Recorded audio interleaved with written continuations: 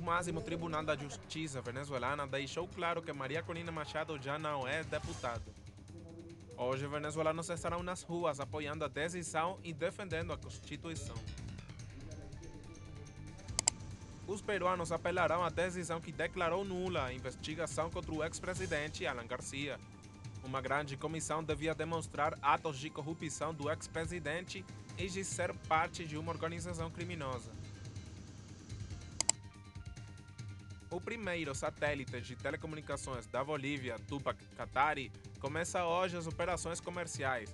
A operatividade dos satélites significa uma diminuição dos preços das ligações por celular e dos serviços de internet em casa.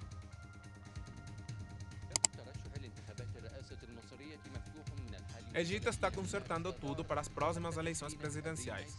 A alta comissão eleitoral abriu período de registro para os candidatos presidenciais. As inscrições serão abertas até o dia 20 de abril. Alguns dos requerimentos para ser candidato é ter ambos pais egípcios, não ter alguma outra nacionalidade e não ter registros criminais.